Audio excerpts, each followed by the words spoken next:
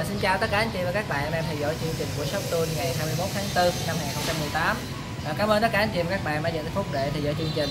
Trong video này thì shop em xin giới thiệu một sản phẩm mới cũng là về thước luôn. Đó chính là cái thước uh, mang thương hiệu KDS Hàng của Nhật sản xuất. Và đây là cái thước KDS Made in Japan. Rồi thì cái thước này nó có gì đặc biệt? À, thứ nhất đó là nó thiết kế rất là vừa tay. À, cái độ này cái độ cao su của nó dùng để à, tạo cái độ bấm rất tốt khi mà chúng ta thao tác. À, kéo ra rất là nhẹ nhàng nó rất là ngon. À, cái này nó không có chức năng là tự động như là cũng không có cái khóa cò dưới đây để chúng ta giữ cái thước nhanh lại. Nó chỉ có việc là gài lại thôi. Đó. thì à, đối với tính chất cái này là cái thước thép. Đó, nó rất là cứng à, nó có chức năng là hai mặt. Một là mặt số không bên đây. À, nếu mà hai người cùng thao tác để đo đạt thì người sau có thể nhìn dễ dàng cái kích thước và ghi lại. Còn mặt trước đây thì nó sẽ có cái à, lỗ ban. À, lỗ ban in bằng tiếng Việt luôn.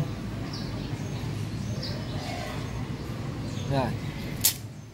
Thì cái cây KDS này nó khác với lại à, hàng Eli thì là Eli trên đây nó là cái à, cái mặt cái mặt số. Còn đằng sau mới là cái mặt lỗ ban thì cadet này nó làm ngược lại.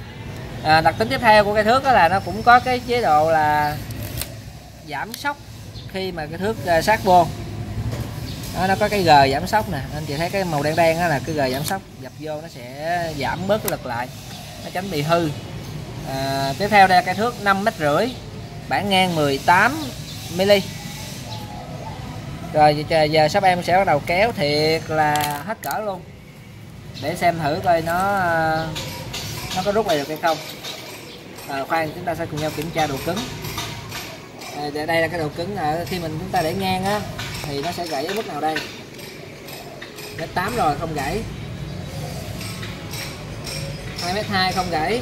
Wow rất là cứng anh chị.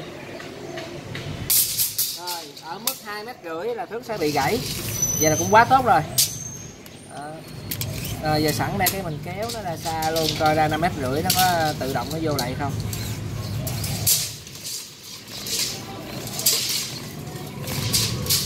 Đây năm mét rưỡi stop rồi rút lại.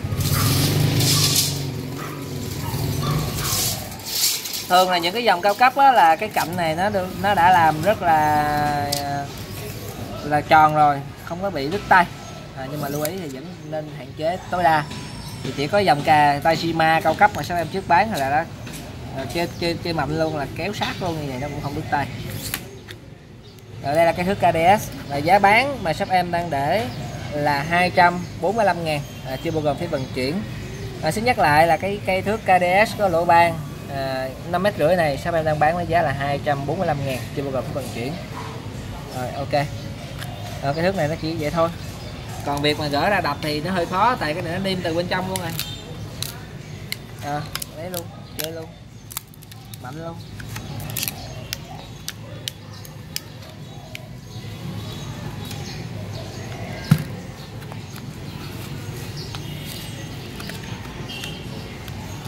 Thường là những cái thước chất lượng cao như thế này thì cái độ bền của nó về cái vỏ chịu lực á, rất là tốt. Nhưng mà vẫn chưa tin đâu mình thử thì mới biết được cứ mỗi lần mà bán một cái thước thì ờ, một dòng sản phẩm nào không biết là chưa? Mà chắc chắn là một cái thước nó đã ra đi rồi đó. Chỉ để xài thôi. Trời đất ơi. Bực rồi đó. Nó thiết kế kiểu này là gỡ ra là bảo đảm không có bán là được luôn. Rồi không cố gắng lấy ra là hư luôn cái vỏ luôn. Cái thước này là shop em sử dụng luôn. Rất là ngon chứ này cây sang. Hãng nào cũng có con cây rồi giờ mình sẽ đập nhé